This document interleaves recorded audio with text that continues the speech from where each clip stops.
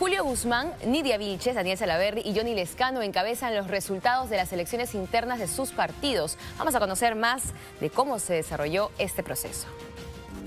La lista encabezada por Julio Guzmán habría ganado las elecciones internas del Partido Morado, según los primeros resultados oficiales de la OMPE, al 76.95% de actas contabilizadas.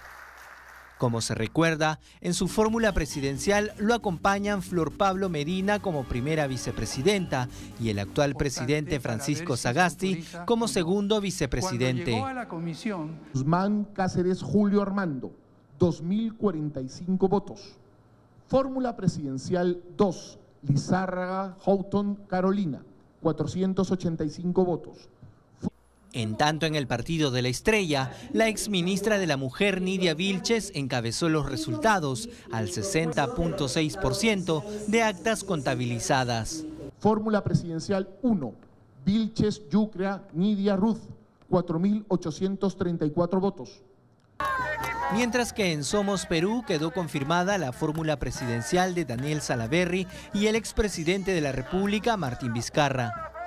Actas contabilizadas al 68.46%. Fórmula presidencial 1, Salaverry Villa Daniel Enrique, 1.938 votos.